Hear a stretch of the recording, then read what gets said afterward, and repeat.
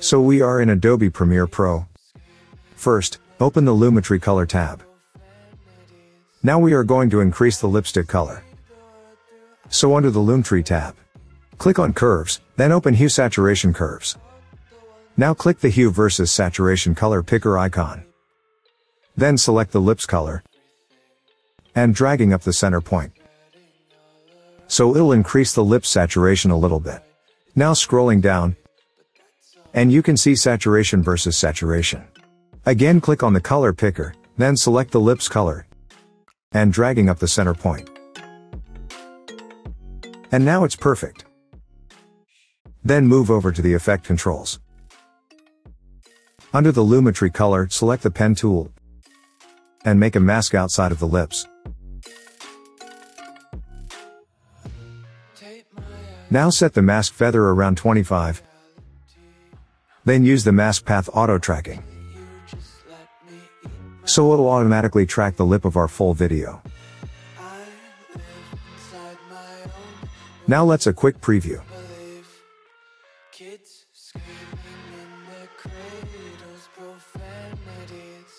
And it looks perfect.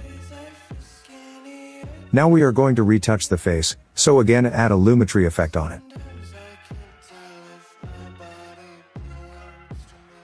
Then first we can make a mask outside of the face.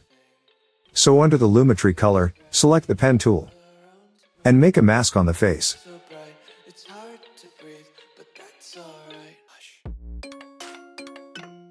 Set the mask feather 25. Again use the mask path auto tracking. Wait for a few moment. So it will automatically track the face of our entire video. Now let's edit the face, under the Lumetri tab. Now I'm going to adjust the white balance a little bit. Then adjust the contrast, highlight, and shadow. Then open the curves, RGB curves, and make the curve line something like that.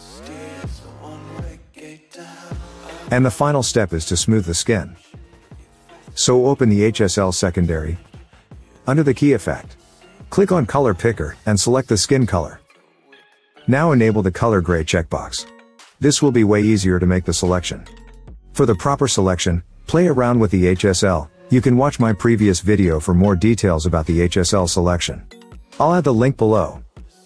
When your selection is completed, then deselect the color gray. Now click on the refine drop-down icon, add the blur a little bit. Basically, it'll add some feather to our selection. Then under the correction, we can increase the luminosity a little bit. Now reduce the sharpness, so it will smooth the face. And last increase the saturation a little bit. Now let's see a quick preview,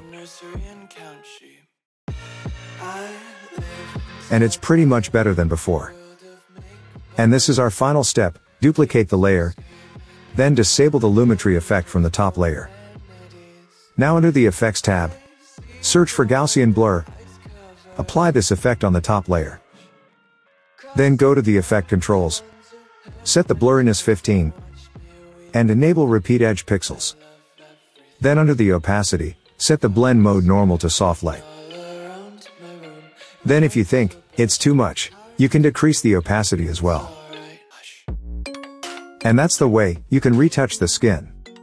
So thanks for watching guys, if you enjoy this tutorial, please give a thumbs up, and don't forget to subscribe.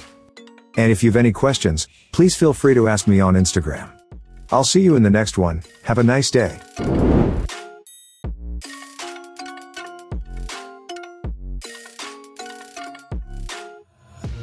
Take my